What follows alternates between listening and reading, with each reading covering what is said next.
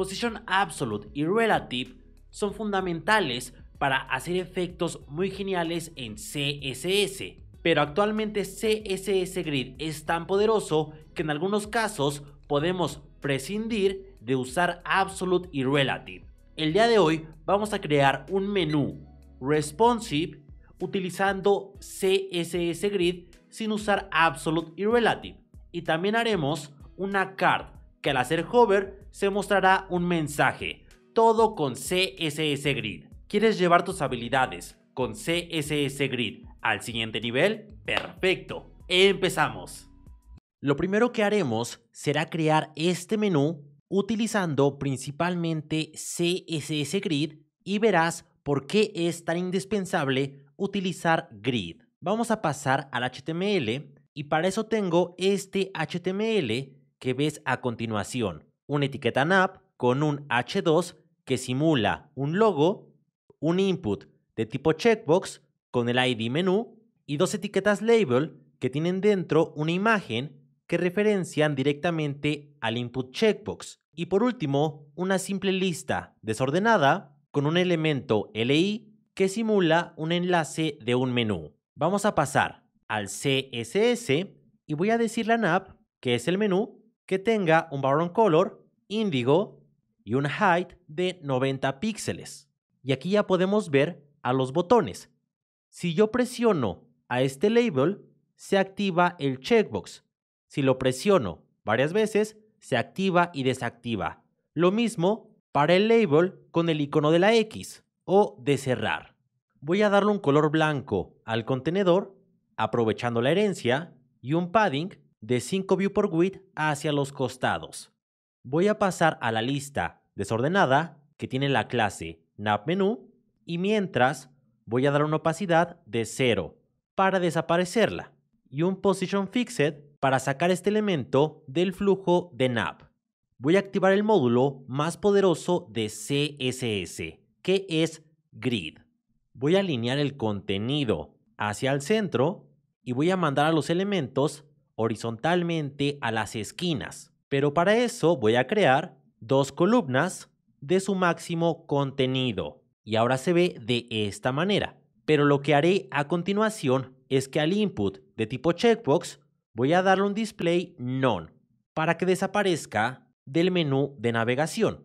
Y ahora viene el momento de utilizar CSS Grid como unos profesionales. ¿Cómo haría yo para posicionar al icono de la X o de cerrar y al icono hamburguesa en el mismo lugar? Es decir, que queden exactamente ocupando la misma área. Para hacerlo, puedes utilizar Position Absolute, pero sería muy tardado, o lo que puedes hacer es definir áreas en CSS Grid. Voy a definir dos áreas para cada columna. La primera área será la del logo y la segunda la de los iconos o la del icono. Y ahora simplemente, si yo paso a seleccionar a Nap Open y a Nap Close y les digo que las dos clases tengan el área o se les asigne el área de icono, ve lo que pasa. Simplemente con estas dos propiedades, ahora ya he puesto en el mismo sitio al icono de cerrar y al icono hamburguesa. Voy a decirle a la imagen que está dentro de los dos labels que tenga un width de 30 píxeles para que se haga más grande.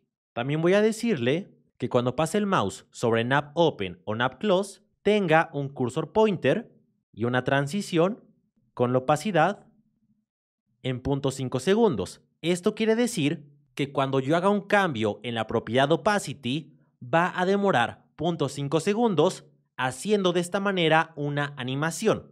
He creado un video previamente hablando sobre animaciones en CSS.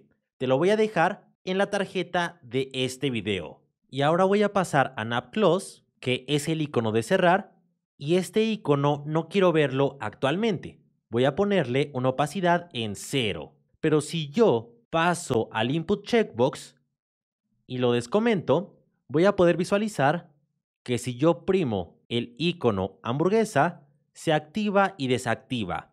En base a esto, quiero mostrar el icono de cerrar y el icono hamburguesa. Así que voy a decirle que cuando check esté activo o con la palomita, yo quiero que su hermano nap open tenga una opacidad ahora en 0 y al contrario, su hermano nap close tenga una opacidad en 1.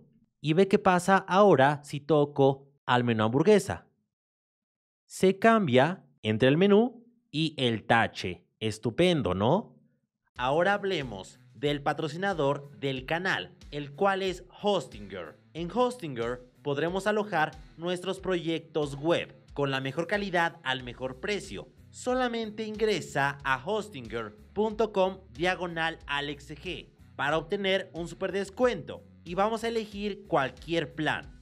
En mi caso, el plan premium, que me da muchos beneficios. Por ejemplo, dominio gratis, certificado SSL, hasta 100 proyectos y muchos más beneficios. Y vamos a contratarlo por 48 meses. Bajaremos un poco y nos pedirá un cupón. Yo voy a poner AlexG en mayúsculas.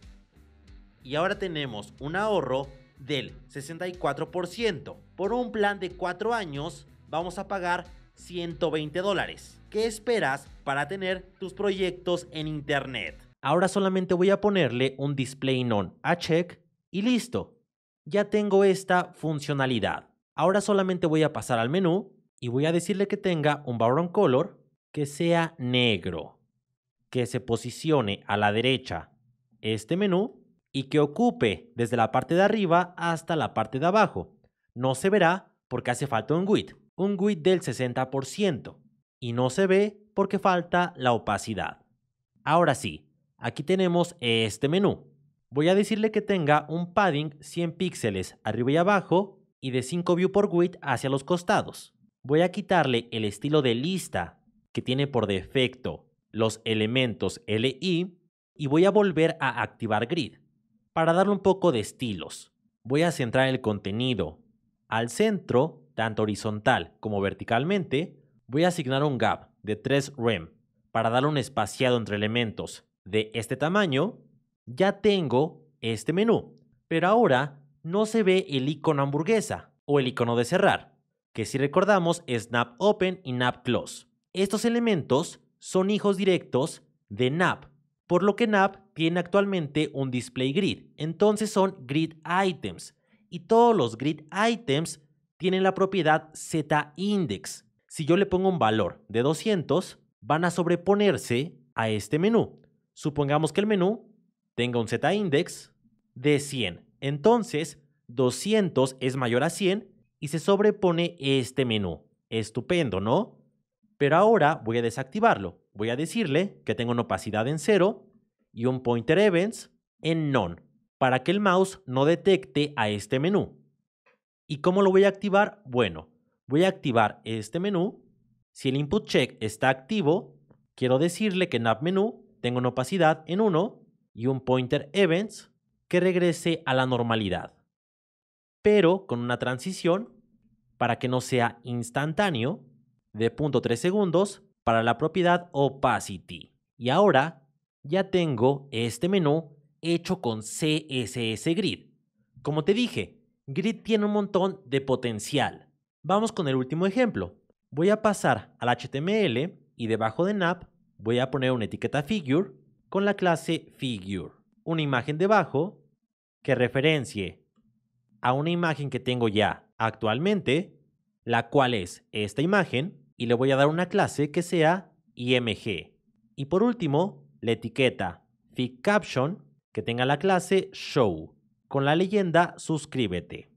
Y veamos otro caso práctico donde CSS Grid es la mejor opción. Voy a pasar a Figure y voy a darle un width de 300 píxeles y un height de 500 píxeles. Y a la imagen voy a decirle que tenga un width del 100% y un height del 100% con la propiedad Object Fit Cover para que la imagen no pierda su calidad.